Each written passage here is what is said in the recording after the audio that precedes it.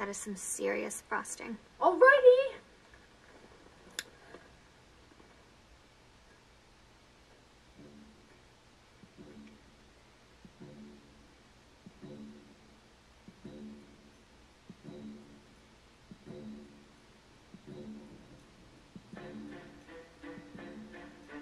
Touch this. Mom, what does it matter? It's just a little frosting. Somebody ruined your cake, and I want to know who could be that thoughtless. Was it you? Or you?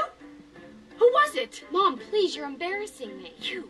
You look like a girl who enjoys her frosting. No. No, I didn't touch it.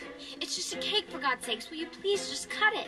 Mrs. Van de Kamp, Open your mouth. I want to smell your breath. It wasn't me.